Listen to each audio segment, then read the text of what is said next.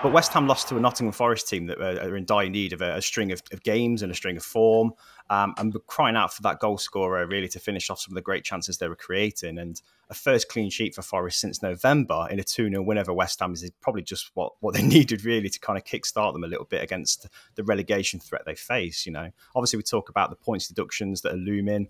But we, they can only do what they can do on paper with the points on the board. And I think Taiwo Awoniyi in his return has made such a difference to Forest in this game, hasn't it, Dave? And I know you're a big fan of his style and the, what that adds to Nottingham Forest's play.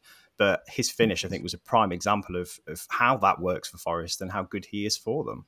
Not necessarily just the finish; the, the touch was out of this world. Yeah, that was that was world class. That touch, just the way he took the ball.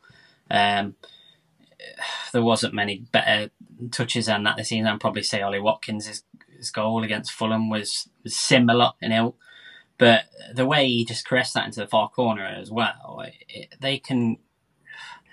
It's actually the, the, potential is there for that front line of, of, Forest, isn't it? Really, but when he's starting, they they just look so much more threatening, um, and they've got more cutting edge to them. But I think the promising thing for me is that Hudson Odoi is almost all of a sudden starting to show signs of the player that we, we saw that he, he could be when he was obviously in his early days at Chelsea, Anthony Elanga. The amount of uh, shots on goal, I think that would be the main thing for Forest in this particular game. The amount of shots they had on target, and they only managed just to score two goals, um, will probably still be a, an annoyance to them because I think this performance was deserved of, of plenty more. I think there were a couple of moments in West Ham had. I think there was a really um, a really vital interception from Murillo, wasn't it? On um, uh, Antonio, I think it was absolutely superb. Yeah. Like, mm. I've, not really many more superlatives we'll say about him, but I'd be surprised if, if there'll be play there'll be clubs line up for if they can get someone can get him for 40, 50 million. I think that would be a good deal. I think that's just speaks of how good I think he can be as a player. Um, I wouldn't be surprised to see a big a big club come in for him this summer. But um, yeah, you can you can see all of a sudden now that they're, they're building momentum as a team. The club, there's a lot of positivity around them. I think they'll pull away from that relegation zone. I don't think they'll be in trouble. Oh, that's the frustrating thing about Forest, though, isn't it? In some ways, they're so inconsistent and so stop-start that you see a great performance, and then you see an absolute stinker the next week, and you see the lineup changing, you see the midfield pairings changing, the defensive pairings changing, and it's that kind of lack of consistency I think that's really setting them back. But I think in this game, Nuno Espirito Santo made some pretty brave calls about which players to leave out, which midfield and defensive pairings to kind of put together to counteract this uh, this West Ham team. And I know they were a bit lucky, Miles, weren't they, with Kalvin Phillips double yellow card and sending off. Um, he's had a lot of bad luck this season, hasn't he? But I think they were on top before Phillips got sent off. Mm. And I think the midfield pairings, especially with Nicholas Dominguez, I thought he was fantastic, made such a difference for them. Yeah, it's a difficult one with Forest, isn't it? Because performances do look strong at times, and they should, because some of the playing staff that they have there are excellent players.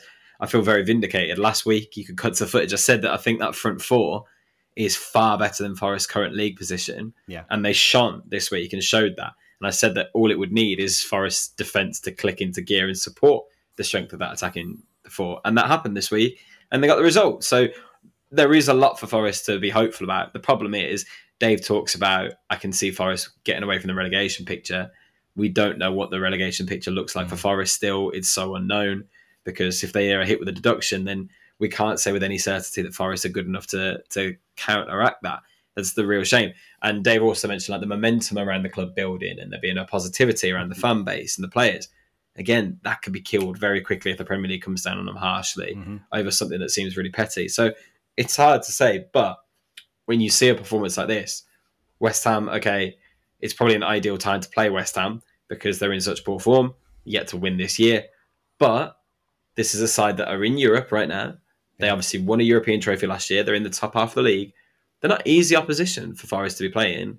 And you're talking about someone like Kalvin Phillips, who, yeah, this was a mistake and he's maybe still finding time to settle into West Ham's midfield. But they've just brought him in from Man City. So obviously there's a player there. There is a lot of talent in that West Ham team, and Forest made them look very, very average. Yeah. And I think West Ham should be quite nervous about the fact that one team clearly had a much better attacking lineup than the other, didn't they? Yeah, absolutely. On the attacking lineup as well, I just want to go back to a one year as well and talk about mm. the quality he brings. And he's scored or assisted eight goals in 14 Premier League games this season And Forest create a lot of chances, but when he's not there, you really do feel that lack of a, of a focal point, don't you, Dave? And I think Awoniyi, his, his age and his profile and his his stature and his physicality, I think he's one of those players as well. They could struggle to hold on to if they if they don't stay in the league, don't you? Well, even if they do, I think he'd be targeted by a few play, a few teams who, who would look at that profile and go, "Yeah, that's just what we need as well."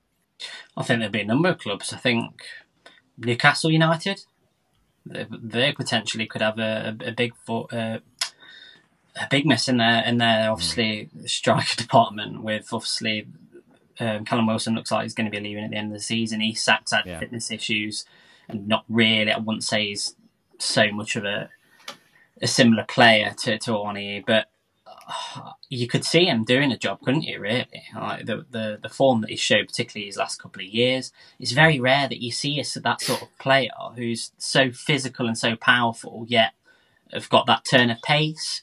He's you know for such a big guy, he's surprisingly quite agile as well.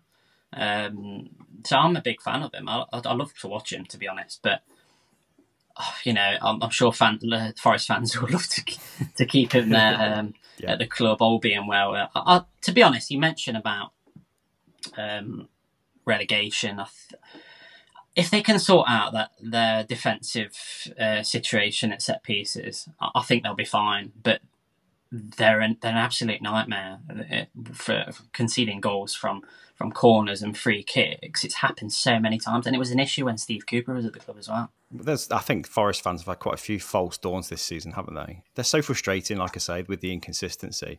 I guess the question is now, Miles. I mean, would they be able to capitalise on this in the next game and the next game and put a run together? And I think that's the, the major doubt against Nottingham Forest is that they can do that. And they've got a lot of question marks now about selection. There's a headache there for, for Nuno to, to kind of pick the, the right team for the next game. Because he just, just keeps shuffling the pack a fair bit, doesn't he? Is there a settled first 11 for Forest? Because I think if there was, they'd probably have a better idea of whether they're going to stay up or not. I think providing you keep everyone fit, I think the lineup that they went into this game with is is their yeah. strongest that I can see. I don't think there there'd be a lot that I would change about that.